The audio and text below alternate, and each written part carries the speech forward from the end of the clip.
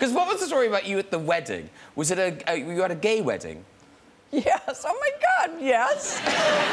right. I went to a, my my idea of hell going to a gay wedding at a country club in the valley, and but it turned out. Can I just say you there makes it the gayest wedding in the world. Oh, yes, it was. But then I was coming out of the bathroom and I was talking to my friend, and this woman comes running after me, Miss, Miss, Miss.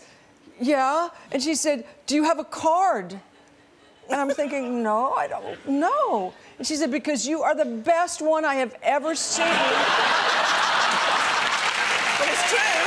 It's true. And she said, I'm having a party. Do you have a card? And I went, No, I don't. And then she went, Oh my God, I'm so embarrassed. And that was it. And then I went out and was gay with my friends. And uh, Dawn French here, she too has a look-alike. Oh.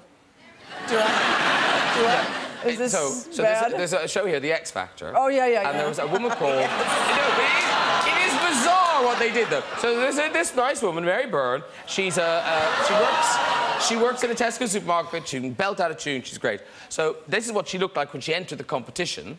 And then when she got to the live shows, they gave her a makeover. it's bizarre. It's bizarre.